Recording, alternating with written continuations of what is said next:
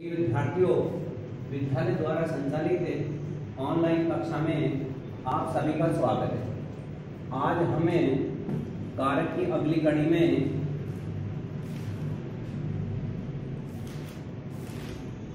अधिकरण कारक के विषय में अध्ययन करेंगे।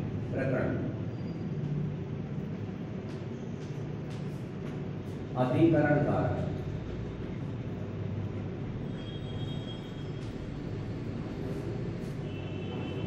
कारक अब अधिकरण कारक की विभक्ति।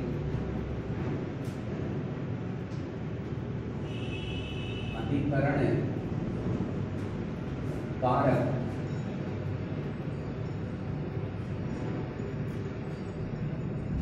के विभक्ति चिन्ह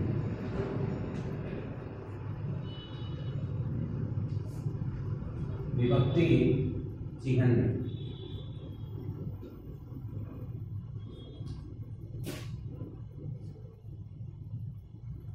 अधिकरण कारक है ये विभक्ति चिन्ह।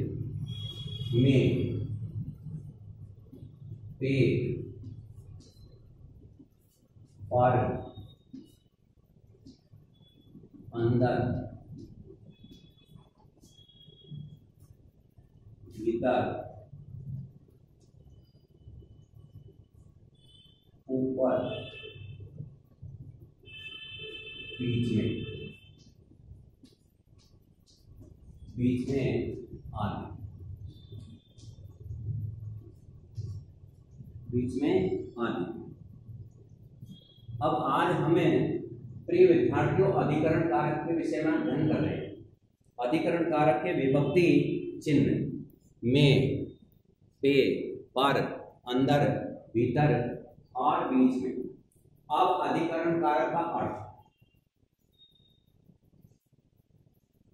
अधिकरण। कारक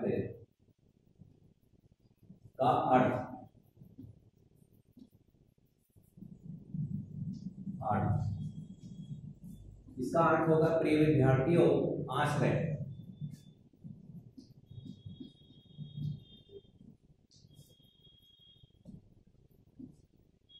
इसकी हमें परिभाषा लेंगे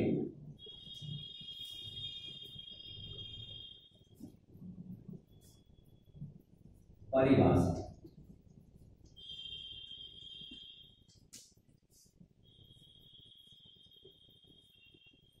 अधिकारण का अर्थ है आश्रय। अब इसकी हमें परिभाषा लेंगे वाक्य में प्रयुक्त वाक्य में प्रयुक्त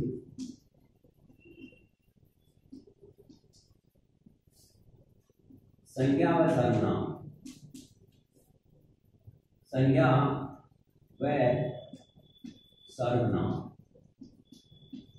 वाक्य में प्रयुक्त संज्ञा व सर्वनाम के जिस रूप से, के जिसे रूप से, जिसे रूप से से क्रिया के आधार का, क्रिया के आधार का। आधार का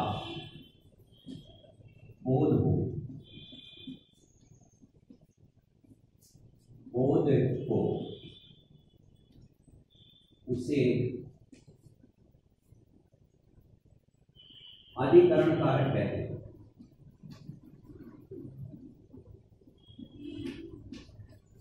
अधिकरण कारक कहते हैं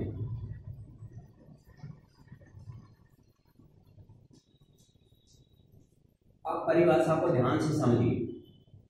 वाक्य में प्रयुक्त संज्ञा। वह सर्वनाम के, जिस, रूप से, क्रिया के आधार का बोध हो, उसे अधिकरण कारक कहते हैं। आप प्रिय विद्यार्थी, इसकी परिभाषा नंबर ये तो एक है और परिभाषा नंबर दो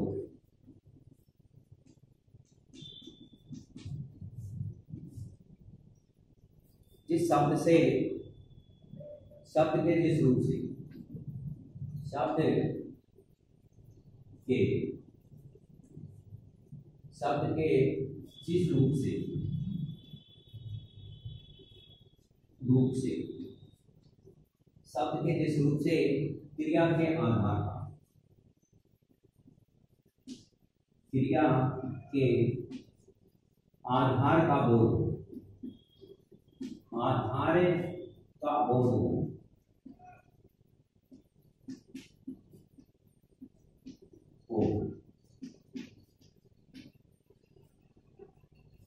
उसे अधिकरण कारक कहते हैं उसे अधिकरण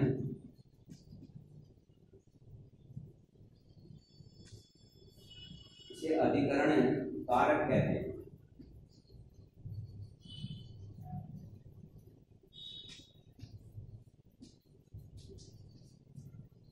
अब अधिकरण कारक की जो परिभाषा है परिभाषा नंबर दो शब्द के जिस रूप से क्रिया के आधार का बोध हो, उसे अधिकरण कारक कहते हैं।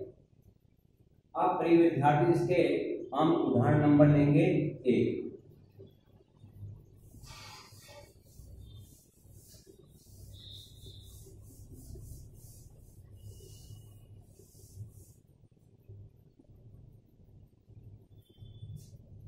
जैसे और उदाहरण नंबर है एक महाभारत।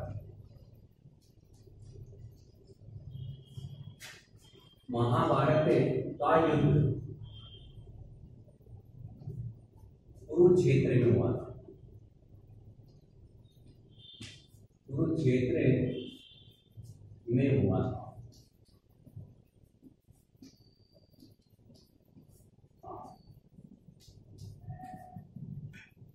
अब प्रिय विद्यार्थियों महाभारत का युद्ध कुरुक्षेत्र में हुआ था। तो इसके परिभाषा थी जिस सबसे क्रिया के आधार का बोध, सबसे पहले क्रिया हुआ था।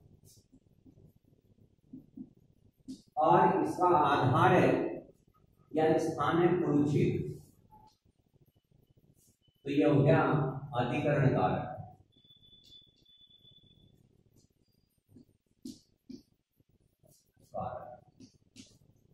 और विभक्ति चिन्ह भी है इससे भी पता चल जाता है। लेकिन क्रिया का आधार है कुरुक्षेत्र, क्योंकि युद्ध वहीं पर हुआ था। क्रिया का स्थान या आधार भी वही है। अब नंबर दो। श्री कृष्ण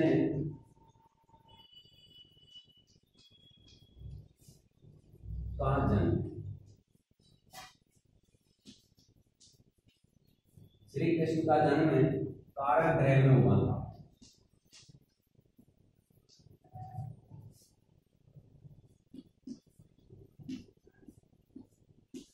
कारागृह में हुआ। था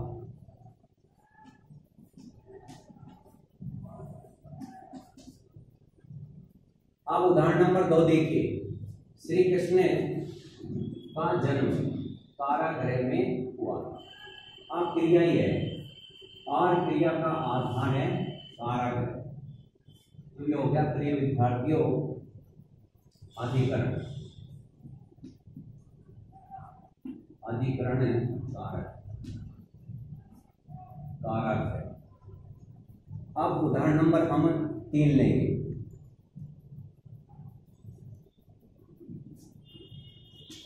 वह रोज, वह प्रतिदिन वह प्रतिदिन गंगा किनारे गंगा किनारे जाता है।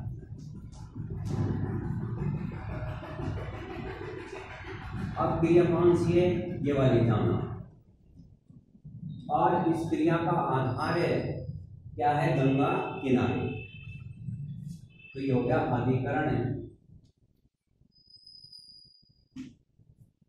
कारण क्रिया का आधार या कोई स्थान के बारे में बताया जाए क्रिया का आधार भी होता है प्रिय विद्यार्थियों स्थान होता है, गंगा किनारे और ये क्रिया, इस क्रिया का आधार है गंगा के किनारे। तो ये हो गया अधिकरण कारक अब उदाहरण नंबर है चार।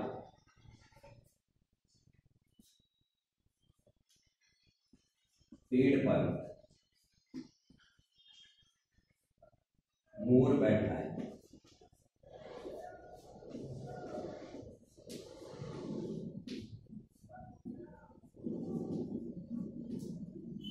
अब उदाहरण नंबर चार देखिए, पेड़ पर मोर बैठा है सबसे पहले परिभाषा थी वाक्य के जिस रूप से, या संज्ञा के जिस रूप से क्रिया के आधार का बोध। हो क्रिया को ध्यान दे, देखना है। क्रिया कौन सी बैठा और इसका आधार है, पेड़। तो ये हो गया अधिकरण कारक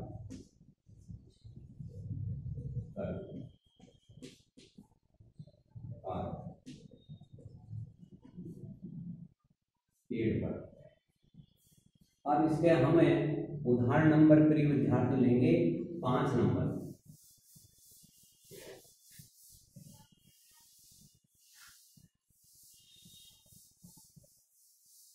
उदाहरण नंबर है? पाँच। उदाहरण नंबर पाँच। भारत भारत की संस्कृति? भारत की संस्कृति। भारत की संस्कृति विश्व में। विश्व में विशेष स्थान। विशेष स्थान रखती है।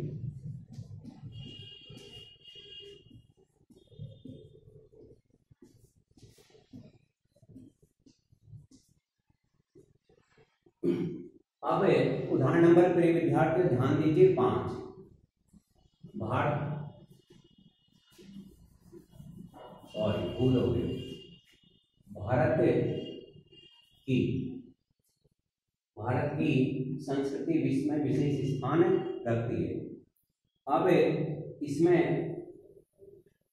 अधिकरण कारक हो गया रक्ति क्रिया और इसका आधार है विश्व। तो ये हो गया अधिकरण कारक अधिकरण कारक क्योंकि क्रिया का आधार है विश्व। अब उदाहरण नंबर लेंगे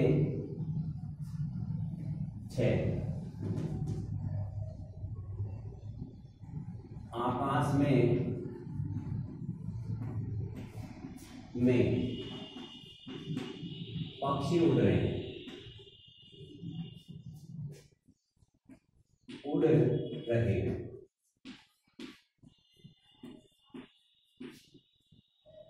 अब उदाहरण नंबर प्रिय विद्यार्थी देखिए उदाहरण नंबर छह आकाश में पक्षी उड़ रहे हैं तो शब्द का वैरूप जिससे क्रिया के आधार का बोध या संज्ञा के जिस रूप से क्रिया के आधार का बोध तो यह है क्रिया, उड़ रहे। और इसका आधार है आकाश। में ये हो अधिकरण का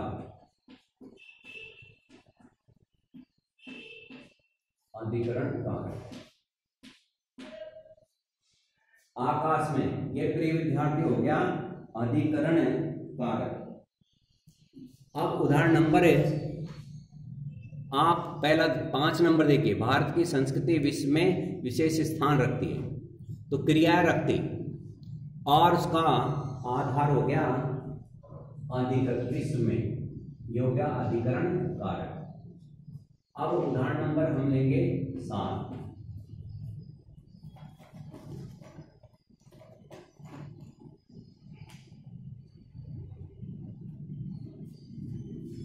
बगीचे में।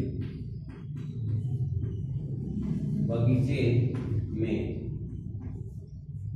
छायादार। बगीचे में छायादार वृक्ष हैं।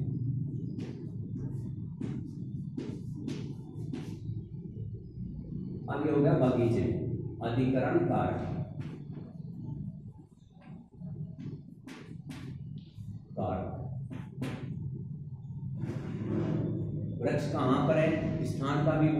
बगीचे।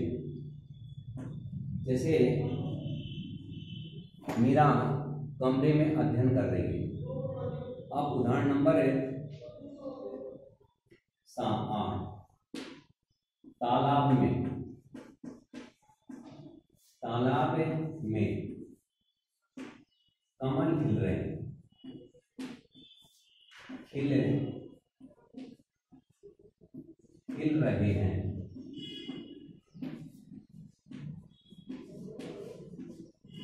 अब परिभाषा बताई थी वाक्य के जिस रूप से क्रिया के आधार का बोध अब क्रिया खेल रहे और इसका आधार प्रिय विद्यार्थी है तालाब। क्योंकि कमल कहाँ खिल रहे हैं तालाब में। अधिकरण कारक अधिकरण और ये है ना विभक्ति चिन्ह में, इससे भी पता चल जाता है। यहाँ पर ही। अब उदाहरण नंबर हम लेंगे नौ। कुर्सी। आँगन के बीच। आँगन के बीच। आँगन के बीच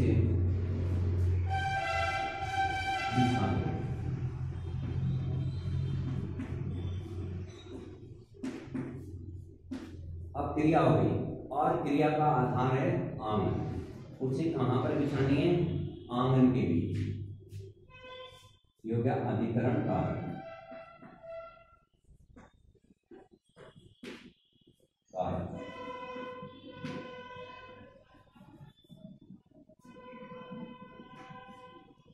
अब प्रिय विद्यार्थियों, ध्यान दीजिए। उदाहरण नंबर नौ। कुर्सी आँगन के बीच बिछा दो। तो बिछाना तो ये तो हो गया क्रिया और क्रिया का आधार है आँगन के बीच। तो परिभाषा में हमने बताया था, इसके विभक्ति चिन्ह में पे पर अंदर भीतर है और बीच। ये इसके विभक्ति चिन्ह है पहचान के चिन्ह। अब नंबर दस।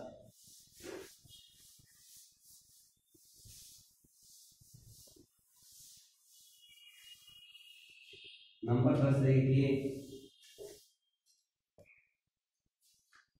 नंबर दस महल में। महल में। दीपक जल रहा है। महल में दीपक चल रहा है।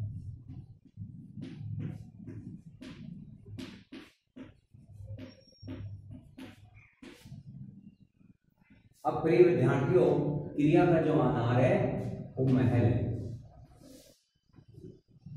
क्रिया का आधार। ये क्रिया है। और इसका आधार ये हो गया महल। ये हो गया अधिकरण कारक अधिकरण कारक अब उदाहरण नंबर ग्यारह।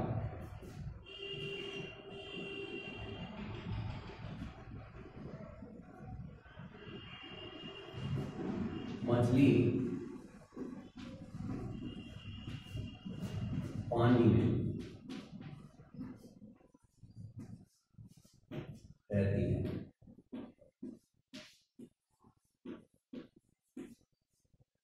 अब उदाहरण नंबर ग्यारह देखिए, मछली पानी में रहती है। ये तो क्या रहती है रहना? ये तो क्या क्रिया और क्रिया का आधार या स्थान है पानी में। हो गया अधिकरण अधिकरण कारक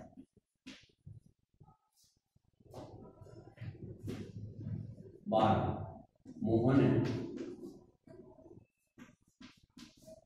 घोड़े पर। मोहन घोड़े पर सवार है।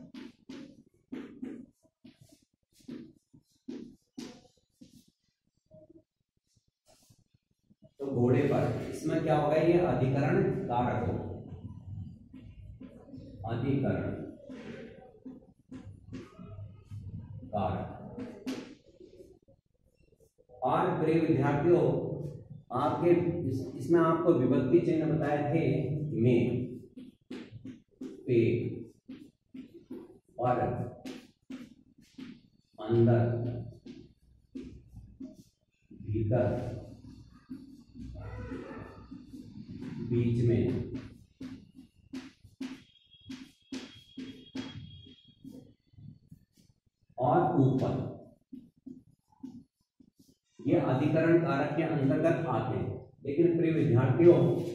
इसका प्रयोग नहीं किया जाता। पे शब्द का प्रयोग हम हिंदी में नहीं करते। क्योंकि पे शब्द का प्रयोग करने से हमारी भाषा शैली अनुचित हो जाती है। ध्यान दीजिए, मोहन घोड़े पे घोड़े पे सवार है। ऐसे बोलेंगे कोई मूर्ख समझेगा इस पे का प्रयोग हम नहीं करते। केवल में और पर का प्रयोग किया जाता है। अब उदाहरण नंबर तेरह। श्री राम।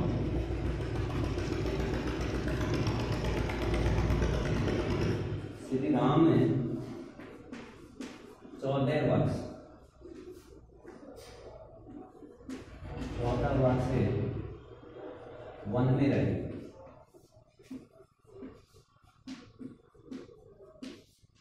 वन में रहे। ये वाली क्रिया। और क्रिया का आधार प्रिय विद्यार्थी जो है, वन में। ये हो गया अधिकरण कारक।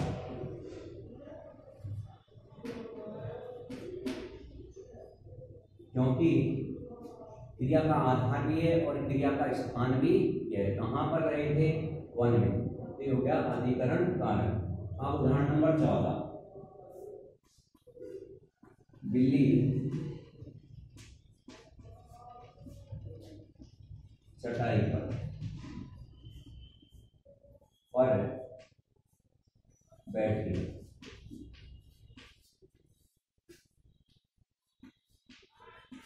अब ये तो क्रिया है, बैठना या बैठी।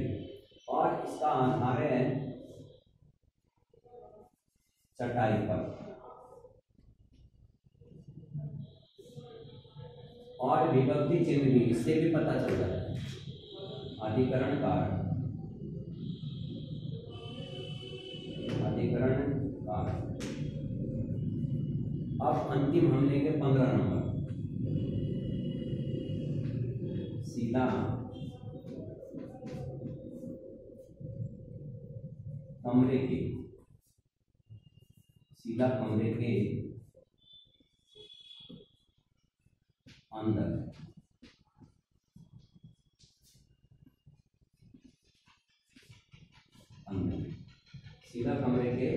है ये हो गया अपने विद्यार्थियों अधिकरण का